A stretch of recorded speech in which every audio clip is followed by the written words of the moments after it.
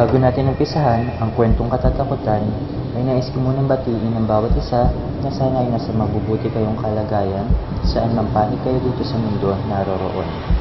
Nais ko na ipabatid na ang kwentong matutunghayan ay hanggang mula sa totoong buhay at karanasan. Now with no further ado, let's start and be scared.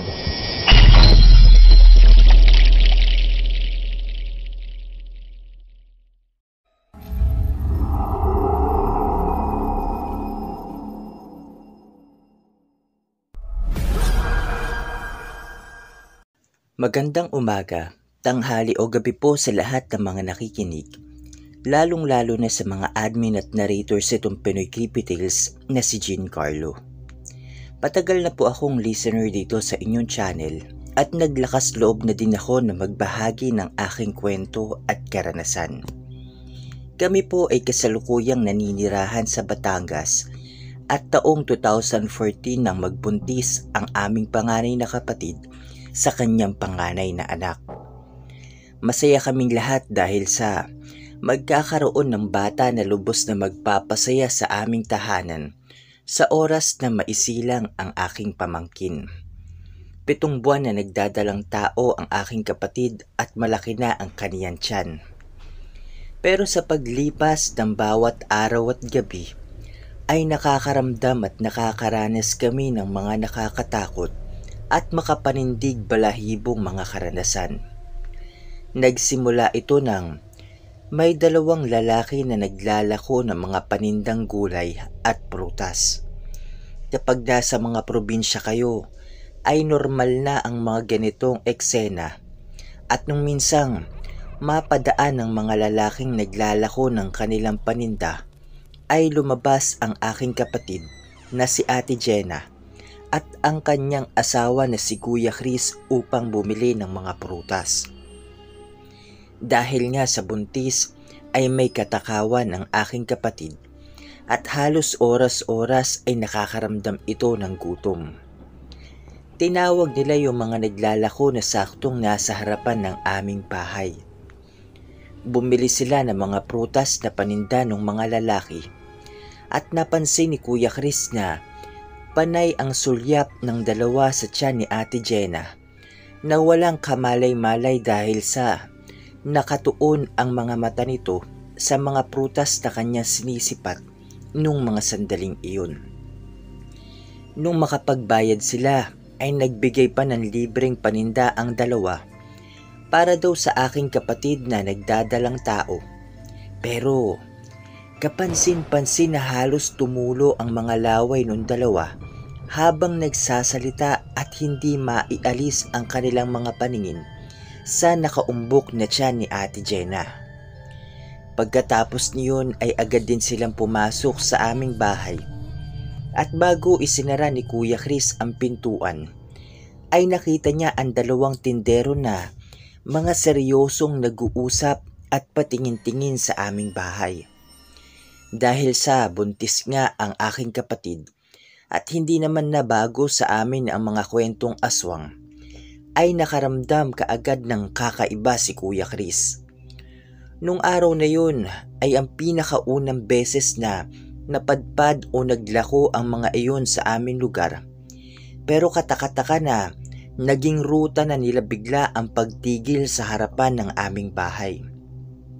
Nung unang itinuro sa amin ni Kuya Chris ang dalawang tindero ay napasang-ayon ako na noon ko nga lang din sila nakita pero sinabi ko na wala naman akong napansing kakaiba sa kanila dahil mga mukha naman silang mga normal na kagaya namin at na baka nag-iisip lang ng kung ano-ano si kuya.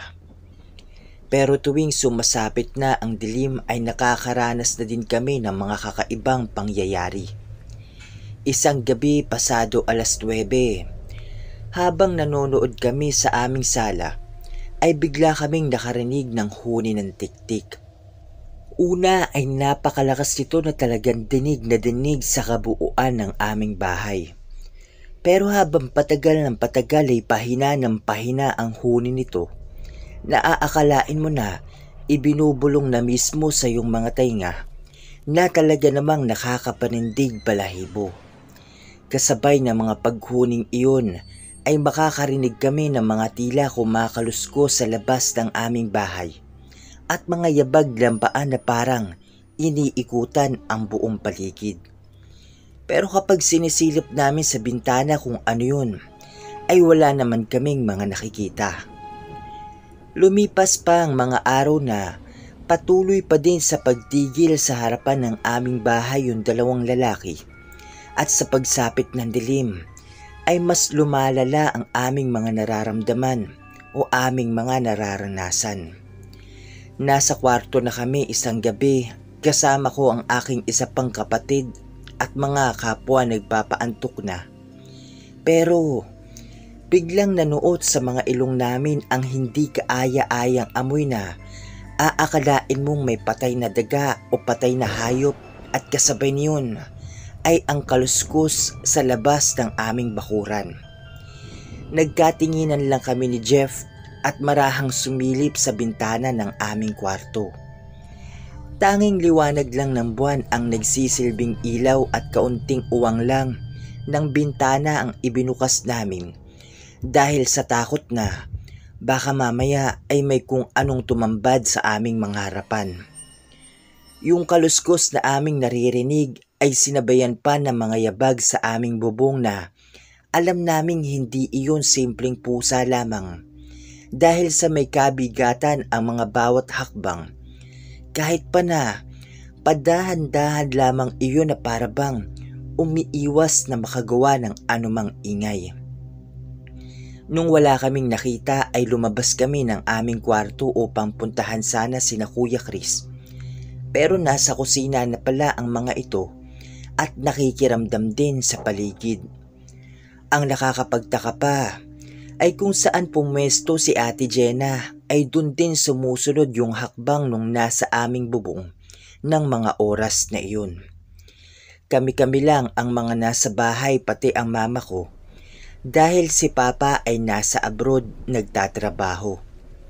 Gustuhin man naming labasin para tignan kung ano o kung sino yung nasa bubong namin ay hindi kami piniyagan ni mama dahil sa labis na takot at pag-aalala na baka mamaya ay kung ano pa ang mangyari sa amin.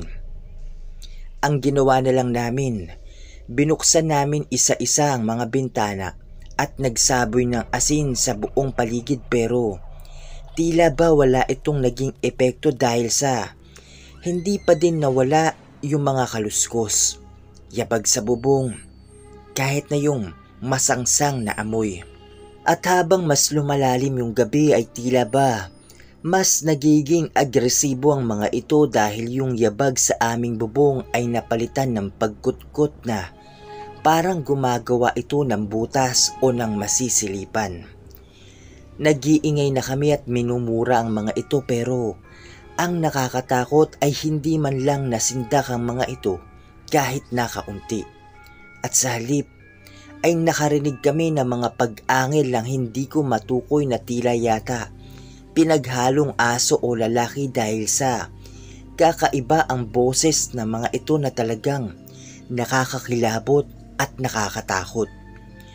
Habang may nagkukutkot sa aming bubungan ay siya din namang pagkatok ng tatlong beses sa harapan ng aming pintuan na ubod ng lakas. Ang pagkatok na yun ay mawawala at babalik humigit kumulang limang minuto at talaga namang mga hindi tumitigil. Marahil sa pinaghalo-halong mga emosyon na takot, pangamba at galit ay biglang sumigaw si Kuya Chris na malaman niya lang kung sino ang mga nanggagambala sa amin ay sisiguraduhin niyang gaganti kami kahit na anong mangyari.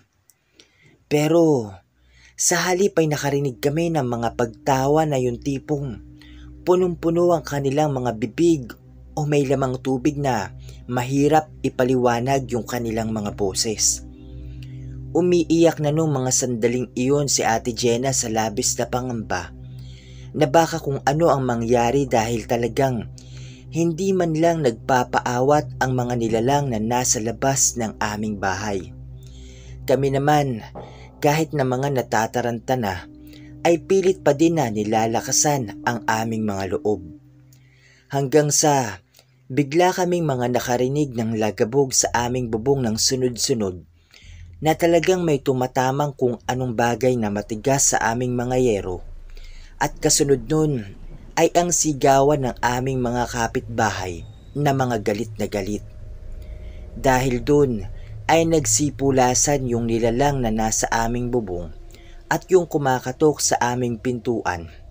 At talaga namang Dinig na dinig namin yung pagtalon mula sa bubong at kanilang pagtakbo na ubod ng bilis.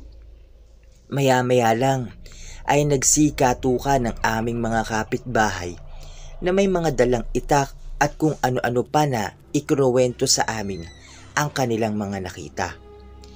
Mga lalaki na kulay itim na yung isa ay nasa bubong, nakatapa at yung isa naman daw ay paikot-ikot sa paligid ng aming bahay. Nung una ay hindi daw nila masigurado kung mga askal o hayop lamang ang mga ito dahil nga sa madilim ang paligid. Pero nung makita ng isa naming kapitbahay yung lalaki na nasa aming bubong na una ay inakala niyang paniki ngunit bigla daw itong tumayo at korteng tao kaya napagtanto nilang mga aswang ang mga ito. Agad daw na nagsipulasan ng mga ito na sobrang liliksi magsikilos na hindi mo akalain na sa isang iglap lamang ay mawawala ka agad sa inyong mga paningin. Inabangan namin muling bumalik ang mga lalaking pinaghihinalaan naming mga aswang pero hindi na ulit dumaan ng mga ito sa aming lugar. Naipanganak naman ni Ate Jenna yung pamangkin ko na walang naging anumang problema at simula din nung insidenteng yun ay naging maingat na din kaming lahat. Lubos ang pasasalamat namin sa aming mga kapitbahay na hindi nagdalawang isip na mga tumulong nung gabing ginagambala kami ng mga aswang. At ang susunod ko pong ibabahagi sa inyo ay karanasan naman ng aking lola noong siya ay dalaga pa. Uso daw kasi ang piyestahan at sayawan sa mga baryo noon at talagang dinadayo ng mga kung sino-sino. Minsan nga daw ay inaabot na sila ng alas 4 ng madaling araw sa sayawan. Kapag namamiesta si Lola ay kasama niya ang kanyang mga kaibigang mga lalaki at mga babae. Grupo sila kung dumayo sa iba't ibang mga baryo o lugar para makikain lamang at makapagsayaw. Usong-uso daw dati yung kahit hindi mo kakilala ay pwede kang makikain sa mga bahay-bahay at makipag-inuman kung inyong gugustuhin. Pero dahil sa hindi naman sila nagiinom ay talagang pagkain at sayawan lang ang pakay nila. Isang beses daw ay nag-usap-usap sila magkakaibigan na pumunta o dumayo sa isang baryo. At nung nalaman nila lola kung saang lugar ay mga tipong nag-alangan daw sila dahil sa mga sabi-sabi na kapag pagsapit ng gabi ay may nangaharang sa mga dumadaan sa lugar na iyon. Pero dahil niya sa madami naman sila at nanghihinayang sa mga pagkain at sayawan, ay pinagsawalang bahala na lamang nila ang mga haka-hakang iyon at tumuloy pa din sa naturang baryo. Matapos daw makikain sa mga bahay-bahay at magsayawan sa isang maliit na sentro o parang plaza, ay nagpasya na silang umuwing magkakaibigan. Habang nasa daan daw, ay nakakarinig sila ng pagaspas ng mga pakpak na sobrang lakas. Pati daw yung mga talahib at sanga ng mga puno ay nagsisigalawan.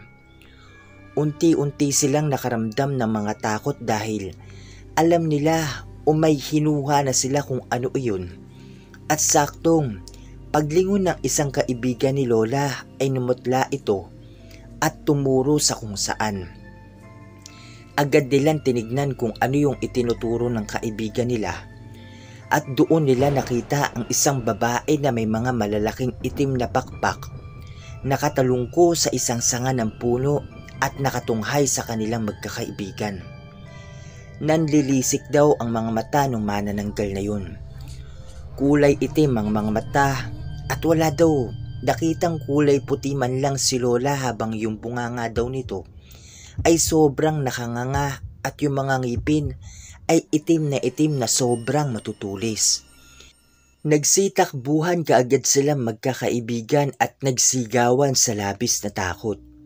Narinig nilang muli yung pagaspas ng pakpak pero palayo na ito ng palayo sa kanila hanggang sa tuluyan na itong mawala sa kanilang mga pantinig.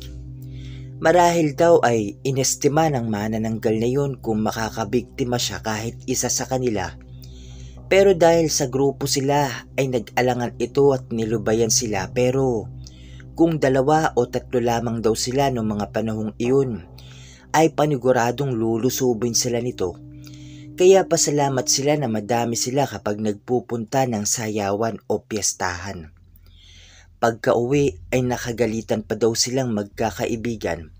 Pati si Lola ng kanyang mga magulang na dahil sa kasibaan nila ay kamuntikan pa silang mga mapahamak. Puntahan daw sila ng puntahan sa mga sayawan eh pareho naman daw sa liwa ang kanilang mga paa at tila mga tuod kung sumayaw. Pero gayon pa man ay hindi nagpaawat ang magkakaibigan na humahayo pa rin sa mga piyestahan para makikain at makipagsayawan. Food is life, sayaw is life, pero manananggal is lifer. Hanggang dito na lamang po at maraming salamat sa inyong pakikinig at pagbibigay ng oras dito sa aking kwento from Jefferson of Batangas. Maraming salamat sa mga nakinig, nakikinig at makikinig pa lamang. Nakalagay sa description box ang email kung saan pwede kayong magpadala ng mga nakakatakot na karanasan at kababalaghan. Huwag po natin kalimutan mag-subscribe, i-share at i-like ang video. Comment down below para sa mga shoutouts sa next video. Until next time everyone, happy creepy tales!